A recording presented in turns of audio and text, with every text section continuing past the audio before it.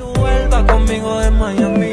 ¿Qué es lo que me hiciste, mami? Háblame claro. Que te estoy pensando más de lo normal. Creo que tus besos, baby, a mí me enviciaron. El olor de tu perfume a mí me pone mal. Yo quiero ponerte en cuatro.